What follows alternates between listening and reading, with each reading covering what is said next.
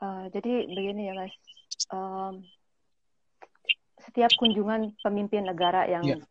uh, berkunjung ke Kiev ini, masyarakat Ukraina, eh, WNI juga berharap uh, Ukraina bisa dibantu untuk uh, menghentikan perang, menghentikan agresi Rusia di Ukraina. Itu aja. Jadi mereka sangat positif, sangat apa istilahnya, sangat apresiasi gitu. Setiap ya. ada pemimpin negara datang ke sini, uh, mereka tidak mereka membawa bantuan seperti itu kan, istilah simbolik atau uh, besar kecilnya uh, ini. Nah, jadi harapan mereka uh, tentu saja sangat simpel ya, ingin hmm. kedamaian segera kembali ke Ukraina itu seperti mungkin sebelum tanggal 24 Februari. Ya.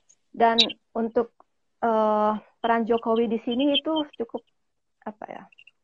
Cukup membuat memberi angin uh, segar, bukan angin segar, memberikan kesan positif ya. karena Jokowi uh, Presiden Jokowi itu mengemban misi perdamaian di mana uh, mencoba untuk mem memediasi antara Ukraina dan Rusia, Presiden Zelensky dan Presiden Putin ya. Medcom.id, a part of Media Group Network.